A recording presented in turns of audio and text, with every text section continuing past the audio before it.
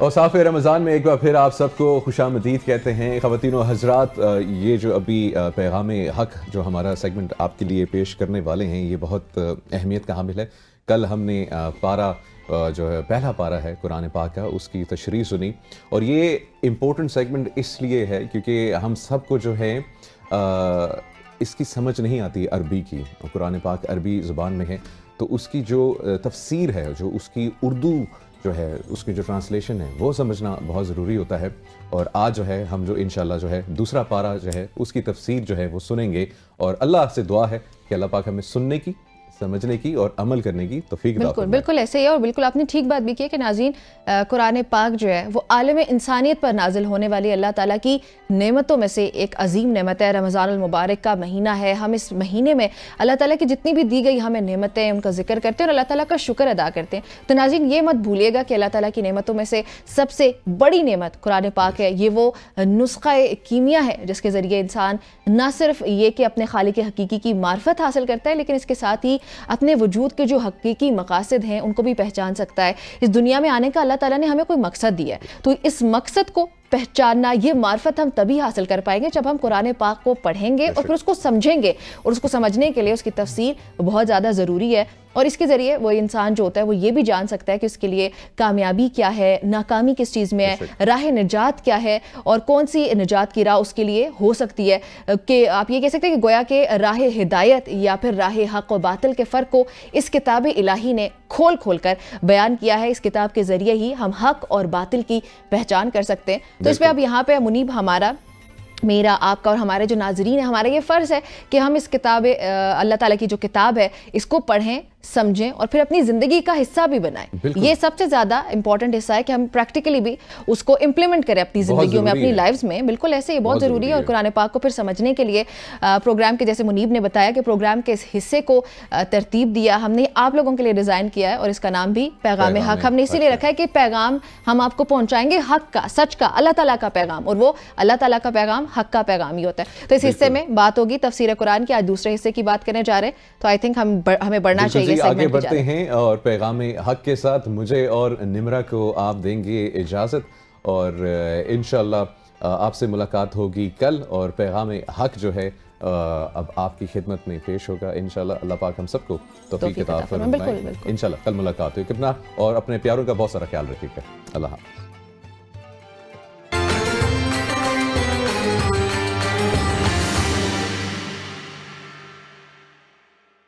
अलहमदुल्ला वसलात अम्माबाद फ़ाउज़बिल्लिमिनशैतानरजीम बसमीम इन व मलाइकतहु युसल्लून अलन नबी या अय्युहल्लज़ीन आमनु सल्लु अलैहि वसल्लिमु तस्लीमा अल्लाहुम्मा सल्लि वसल्लिम अला सय्यिदिना व मौलाना मुहम्मद व अला आले व मौलाना मुहम्मद व बारिक वसल्लिम सल्लि नाज़रीन किराम कुरान मजीद के तलखीसात के सिलसिला में ए बी एन का दूसरा नशरिया आप मलाजा फरमा रहे हैं। कुरान हकीम फ़ुरक़ान मजीद का दूसरा पारा आया करीमा नंबर एक सौ इकतालीस से शुरू होता है और एक सौ बावन पर ख़त्म होता है। किताब मजीद कि इस हिस्सा को समझने के लिए एक पस मंज़र जहन में रखना होगा। और इसालत माम सल्लल्लाहु अलैहि वसल्लम मक्का से जब हिजरत करके मदीनतुलनबी में तशरीफ़ फरमा हुए तो उस वक्त आल किताब का किबला बैतुल मुक़दस था। हुजूर अनवर सल्लल्लाहु अलैहि सोलह या सत्रह माह तक उसी क़िबला की तरफ़ मुँह कर मुँह करके नमाज़ अदा फरमाते रहे। लेकिन आपके दिल में आरज़ू थी कि मुसलमानों का किबला काबा शरीफ हो जाए। जिसकी बुनियाद हज़रत इब्राहीम खलील्ला और हज़रत इस्माईल आसमाम ने रखी। दूसरे पारे के पहले दो रकू, इसी पस मंदर को बयान करते हैं। फ़ुरक़ान मजीद ने कहा कि अनकरीब बेवकूफ़ लोग और सफ़ी लोग एतराज़ात करेंगे कि मुसलमानों को किस चीज़ ने काबा की तरफ़ फेर दिया। यहाँ नाजरीन के लिए जान लेना भी ज़रूरी होगा कि किताब मजीद ने खसूसियत के साथ सिरात मुस्तकीम का ज़िक्र किया।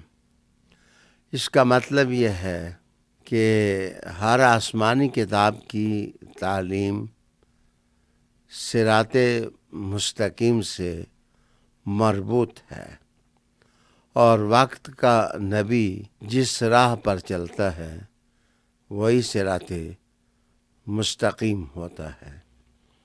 कुरान हकीम ने साफ़ तौर पर यह ऐलान कर दिया कि हुजूर सल्लल्लाहु अलैहि वसल्लम, जिस राह चलते हैं, सिरात मुस्तकीम, वही रास्ता है।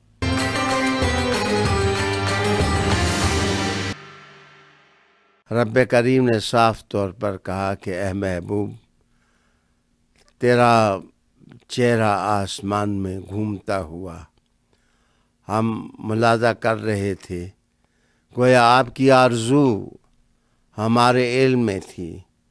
सो हमने उम्मत मुस्लिमा के लिए आप किबला को तब्दील कर दिया गया। है अब इस सिलसिले में जो तफसीली अहकाम हो सकते थे, वो तमाम के तमाम इन दो रकूओं के अंदर बयान किए गए। कुरान हकीम ने रिसालत सल्लल्लाहु अलैहि वसल्लम की सीरत के पाँच पहलू बयान किए। आम तौर पर इस किस्म की आयात कुरान मजीद के जो दूसरे हिस्सों में आई है, वहाँ चार ही बातें बयान की गई हैं। लेकिन यहाँ पाँच बातें अल्लाह ताला ने इरशाद फरमाई कि जिस रसूल मुआज़म को हमने उम्मीन के अंदर मबूस किया, उनमें पाँच सिफात हैं। वो हमारे ख़ास रसूल हैं, अज़मत वाले रसूल हैं और वह हमारी आयात की तिलावत करते हैं।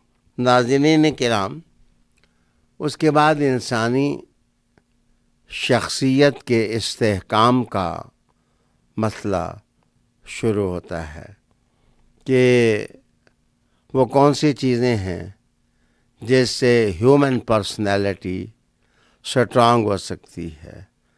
इस बाब में सबसे पहले ज़िक्र अल्लाह ताला ने अपनी याद का किया।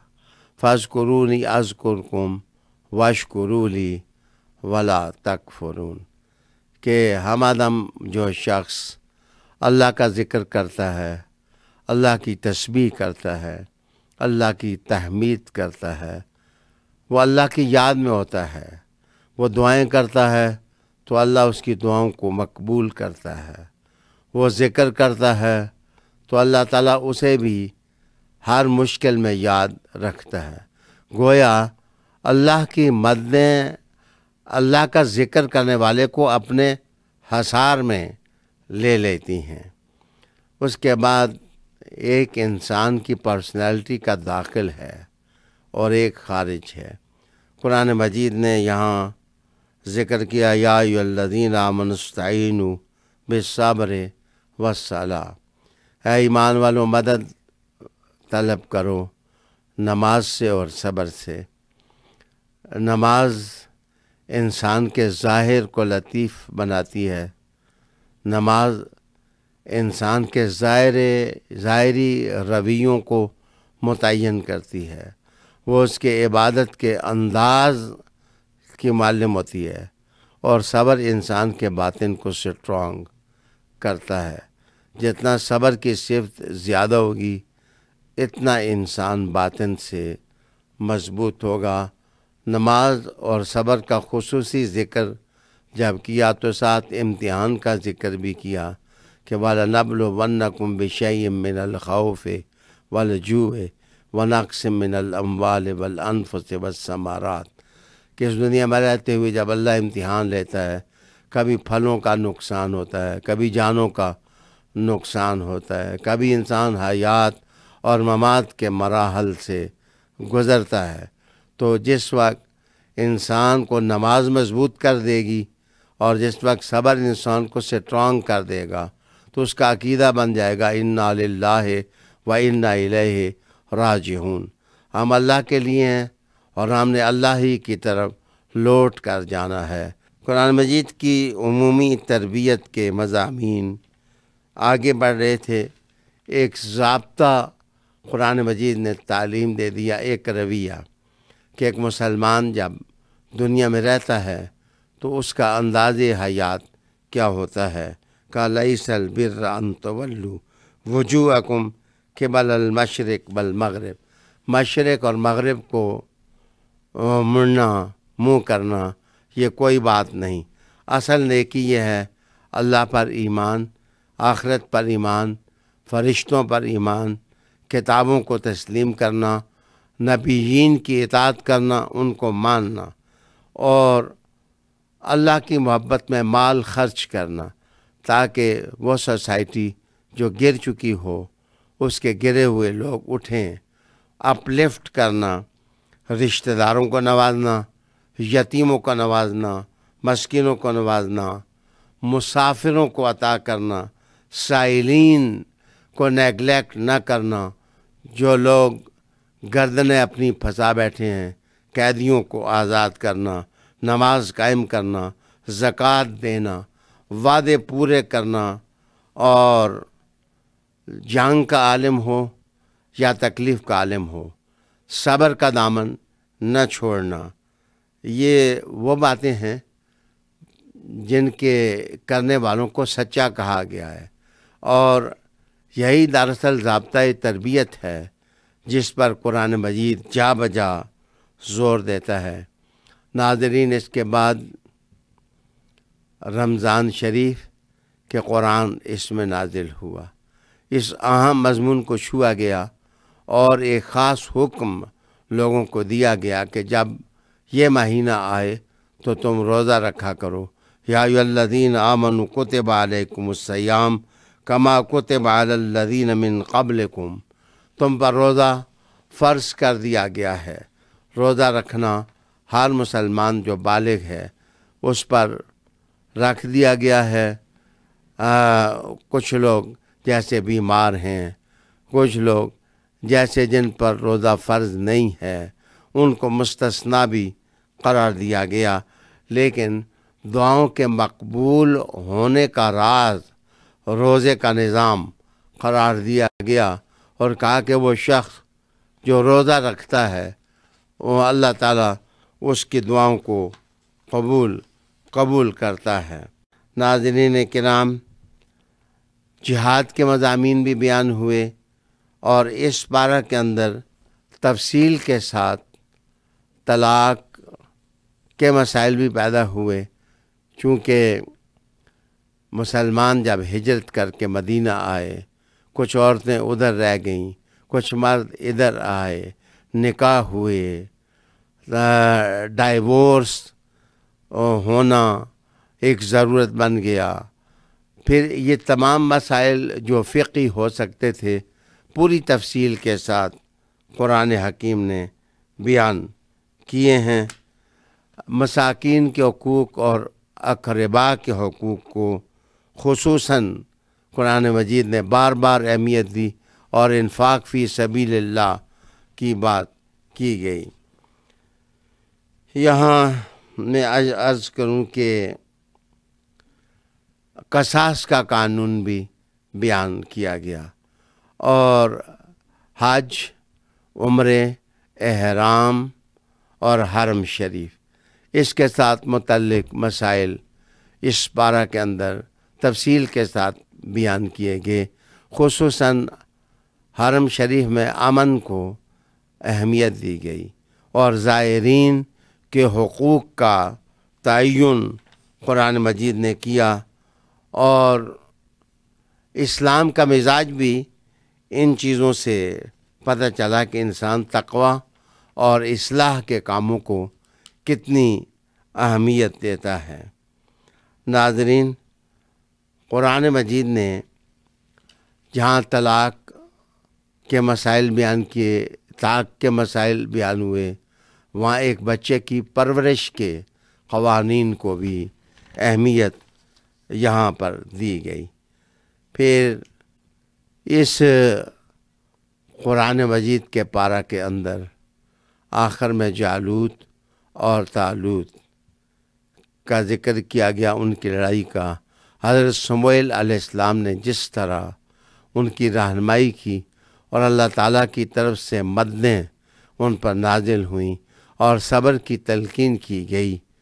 मेरे ख़्याल में ये इशारे थे इस तरफ़ कि अगर दुनिया भर के लोग हज़रत मोहम्मद सल्लल्लाहु अलैहि वसल्लम की इतात करेंगे तो तरक्की उनके पाँव चुमने लग जाएगी।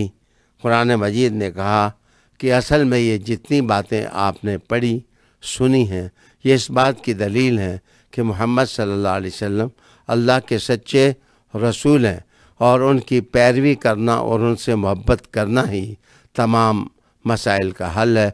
वाखिर दावाना अनिल हमदिल्ला रबालम